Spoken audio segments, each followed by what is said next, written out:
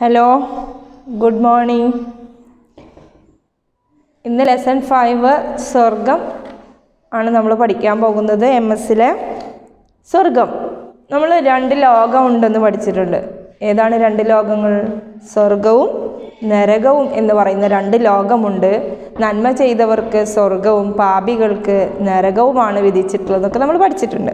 ഇന്നിവിടെ സ്വർഗത്തിൽ എന്തൊക്കെ സൗഭാഗ്യങ്ങളാണ്? എന്തൊക്കെയാണ് ഒരുക്കി വെച്ചിരിക്കുന്നത്? നമ്മുടെ ലോക സൃഷ്ടാവ് എന്നൊക്കെ നമുക്ക്. സ്വർഗം.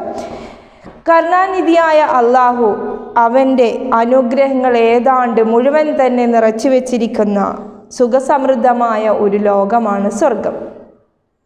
എന്താ പറയുന്നത് സ്വർഗം എന്നാൽ? കരുണാനിധിയായ അള്ളാഹു അവന്റെ ഒരുവിധം എല്ലാ അനുഗ്രഹങ്ങളും ഏതാണ്ട് നിറച്ചു വെച്ചിരിക്കുന്നത് സ്വർഗത്തിലാണെന്ന് പറയുന്നു.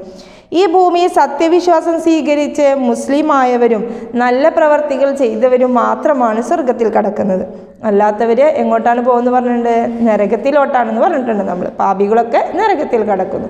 ഇനി ഖുർആാനിൽ പറയുന്നുണ്ട് സ്വർഗത്തിൽ എന്താണ് ഉള്ളതെന്ന് ഖുർആാനിൽ പറയുന്നുണ്ട്.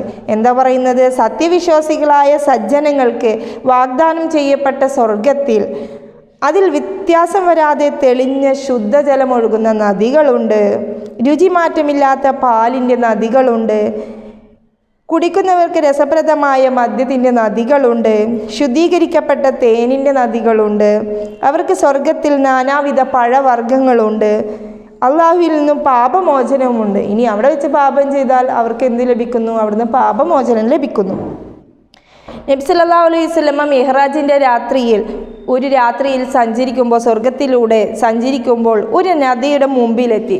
അതിന്റെ ഒരു കരയിൽ രത്നങ്ങൾ കൊണ്ട് ഇരു കരകളിലും രത്നങ്ങൾ കൊണ്ട് നിർമ്മിച്ച കൊട്ടാരങ്ങൾ കണ്ടപ്പോൾ നബി കൂടെയുണ്ടായിരുന്ന മലക്കിനോട് ചോദിക്കുകയാണ് ഇതെന്താണ്? എന്ന് ചോദിച്ചു. അപ്പം മലക്ക് മറുപടി പറയുന്നത് കൗസർ എന്ന നദിയാണ്. ഇതാണ് കൗസർ എന്ന നദി. ഇത് അങ്ങയ്ക്ക് മാത്രമായി അള്ളാഹു സൃഷ്ടിക്കപ്പെട്ടിട്ടുള്ളതാണ്. തുടർന്ന് മലക്ക് തന്റെ ചിറകുകൾ തറയിലടിച്ചു. അപ്പോൾ അവിടെ നിന്നും അത്ഭുതം അവിടെ നിന്നും പുറത്തു വന്നത് കസ്തൂരിയുടെ സുഗന്ധമായിരുന്നു. കസ്തൂരിയുടെ സുഗന്ധമായിരുന്നു അവിടെ നിന്ന് പുറത്തു വന്നത്. കുറച്ച് കസ്തൂരി എടുത്ത് മലക്ക് നബിയെ കാണിച്ചു. നോക്കുക ദുനിയാവിൽ വിലമതിക്കാനാവാത്ത കസ്തൂരിയാണ് സ്വർഗത്തിലെ മൺതിട്ടകൾ പോലും.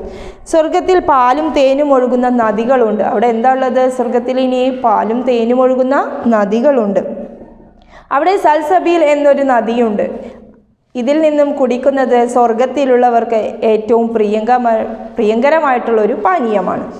തസ്നീം എന്നൊരു പാനീയം സ്വർഗവാസിക്ക് നൽകപ്പെടുന്നു. ആ സ്വർഗത്തിലുള്ളവർക്ക് തസ്നീം എന്നുള്ള ഒരു പാനീയം നൽകപ്പെടുന്നു. ആ പാനീയം സ്വർഗത്തിന്റെ മുകൾ ഭാഗത്തുള്ള നദികളിലൂടെയാണ് ഒഴുകുന്നത്. ഈ ലോകത്ത് ജ്യൂസ് പോലുള്ള പാനീയങ്ങൾ എത്ര നല്ല രുചിയിലാണ് നമ്മൾ കഴിക്കുന്നത് അല്ലേ? അല്ലെങ്കിൽ കുടിക്കുന്നത്. അപ്പോൾ പരിശുദ്ധമായ സ്വർഗത്തിൽ പാനീയങ്ങൾ എത്രയോ രുചികരമായിരിക്കും.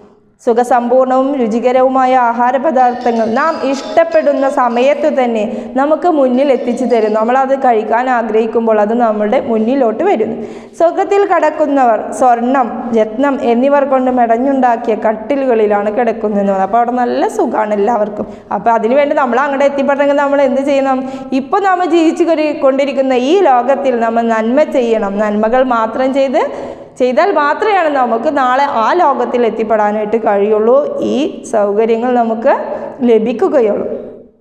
സ്വർഗവാസി അവിടുത്തെ പഴങ്ങൾ കഴിക്കാൻ ഉദ്ദേശിക്കുമ്പോൾ പഴക്കുലകൾ അടുത്തേക്ക് വരുന്നു. ഇനിയിപ്പോൾ ഒരു ആപ്പിൾ കഴിക്കാൻ നമുക്കൊരു ആഗ്രഹം തോന്നി വിചാരിക്കും സ്വർഗത്തിൽ ചെന്നപ്പോൾ അപ്പോൾ ഒരു ആപ്പിളല്ല നമുക്ക് അവിടെ കൊടുന്നു വരുന്നത് ഒരു കുലയോട് കൂടെയുള്ള ആപ്പിളാണ് നമ്മളുടെ മുന്നിലോട്ട് എത്തിച്ചേരുന്നത്.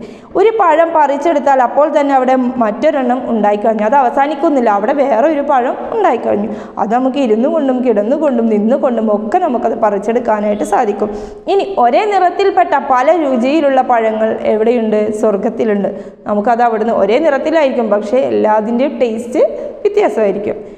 അവിടുത്തെ മരങ്ങൾ സ്വർണം കൊണ്ട് രത്നങ്ങൾ കൊണ്ട് നിർമ്മിച്ചിരിക്കുന്നതാണ്. അപ്പോൾ ആ മരത്തിലുണ്ടാകുന്ന പഴങ്ങൾ എങ്ങനെയായിരിക്കും? അതിന്റെ അതിനേക്കാൾ രുചിയുള്ളതായിരിക്കും. അല്ലേ? സ്വർണം കൊണ്ടൊക്കെ രത്നങ്ങൾ കൊണ്ടൊക്കെ മരങ്ങൾ നിർമ്മിച്ചു കഴിഞ്ഞാൽ അതിലുണ്ടാകുന്ന പഴങ്ങളും ഒരുപാട് ഡിഫറൻസ് ഉള്ളതായിരിക്കും.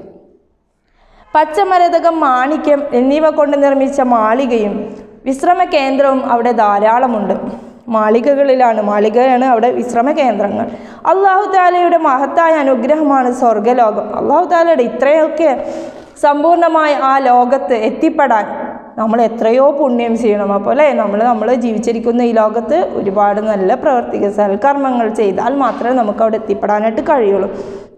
അവിടെ നാം എന്താഗ്രഹിക്കുന്നു അപ്പോൾ തന്നെ അത് സാധിക്കുന്നു. എന്ത് തന്നെ ആഗ്രഹിച്ചാലും നമ്മളത് സാധിച്ചു അള്ളാഹു നമ്മെ സ്വർഗവാസികളിൽ പെടുത്തട്ടെ. ആമീൻ.